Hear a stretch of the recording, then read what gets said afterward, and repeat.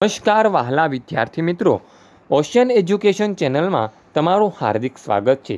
આજે આપણે જ્ઞાન સેતુ કાર્યક્રમ અંતર્ગત જે બ્રિજ કોર્સ ચાલી રહ્યો છે, તેમાં આઠમા ધોરણના ગુજરાતી વિષયના કદમ નંબર સાત તેનું સંપૂર્ણ સોલ્યુશન જોવાના છીએ. તેમાં પ્રશ્ન નંબર એક, ધોરણ સાત ગુજરાતી પાઠ્યપુસ્તકમાં જીવન પાથે એકમના પાના નંબર એકતાલીસ પર આપેલા ચિત્ર જુઓ અને પિતા અને પુત્ર વચ્ચે શું વાત થતી હશે તે લખો. અહીં જીવન પાથે એકમ મુજબ પિતાજી લેખકને ઠપકો આપતા કહે છે, દત્તુ, મેં માન્યું નહોતું કે તારામાં આવી હીનતા હશે. તારી વાતનો અર્થ એ જ છે કે મારે અન્નદાતાને છેતરવા. તારી કેળવણી પર ધૂળ છે. આપણા કુળદેવીએ રોટલો આપ્યો. એટલામાં સંતોષ માનવો. લક્ષ્મી તો આજે છે ને કાલે નથી. આપૃથી રહેવું એ જ મોટી વાત છે. મરીને ઈશ્વર આગળ ઊભો થઈશ, ત્યારે શું જવાબ આપીશ? આવી વાતો થઈ હતી. પ્રશ્ન નંબર બે.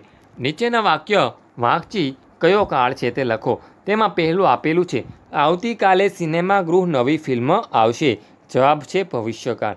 હું ઇંગ્લેન્ડ અને ભારત વચ્ચેની મેચ જોઉં છું. જવાબ છે, ચાલુ વર્તમાનકાળ ત્રીજું, મારો ભાઈ ગઈકાલે ફૂટબોલની મેચમાં હારી ગયો હતો.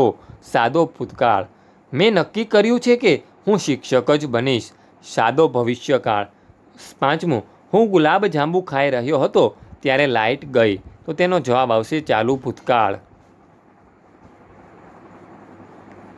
પ્રશ્ન નંબર ત્રણ, જીવન પાથેય એકમમાં આવેલ રૂઢિપ્રયોગ અને શબ્દ શોધીને લખો.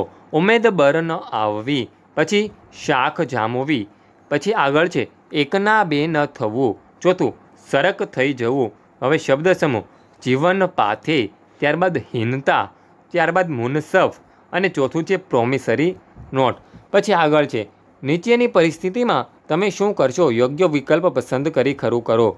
તો તેનું પહેલું છે, પરીક્ષામાં હું અવ્વલ રહું એ માટે હું ખૂબ જ મહેનત વાંચીશ અને આવડે તેટલું લખીશ. પછી આગળ, બીજું છે મને પૈસા ભરેલું પર્સ મળી જાય તો તો હું પર્સમાં જે સરનામું આપ્યું છે તે જોઈ મૂળ માલિક સુધી પહોંચાડી દઈશ. ત્રીજું, મને બાઇક ચલાવવાની પિતા ના પાડે તો હું પિતાની વાતથી માની જઈશ. પછી આગળ, પ્રશ્ન નંબર પાંચ, શબ્દ વચ્ચે યોગ્ય અંતર રાખી વિરામ ચિહ્નો મૂકી વાક્ય ફરીથી લખો. મેં અહીં યોગ્ય વિરામચિહ્ન મૂકી વાક્ય ફરીથી લખેલા છે. યાદ રહે બાળકો કે તમારે તે આમાં જે યોગ્ય વિરામચિહ્ન મૂકેલા છે, તે તમારે તમારી નોટબુકમાં પણ મૂકવાના છે, જેથી કોઈ ભૂલ ન રહી જાય. પ્રશ્ન નંબર છ. તમારી આવતીકાલની દિનચર્યા શું હશે તે લખો. મેં અહીં મારી દિનચર્યા લખેલી છે. તમે તમારી દિનચર્યા લખી લેજો.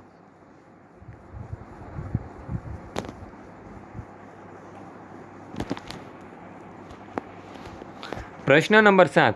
તમારા જીવનમાં કોઈ પ્રામાણિકતાનો પ્રસંગ બન્યો હશે તો તે પ્રસંગ વિશે લખો. મારા જીવનમાં બનેલો એક પ્રામાણિકતાનો પ્રસંગ છે તે મેં અહીં લખેલો છે.